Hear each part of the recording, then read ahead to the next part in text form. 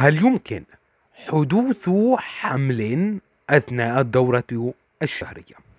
مرحبا وأهلا وسهلا بكم أعزائي في هذه الحلقة الجديدة والتي أردنا بإذن الله سبحانه وتعالى التحدث إذ يمكن حدوث حمل أثناء الدورة الشهرية أعزائي نعم يمكن أن يحدث الحمل بعد الدورة الشهرية مباشرة فقط وذلك لأن الإباضة تحدث في الغالب في اليوم الرابع عشر من الدورة الشهرية وذلك يعني بعد مرور أسبوع على أسبوع الدورة الشهرية.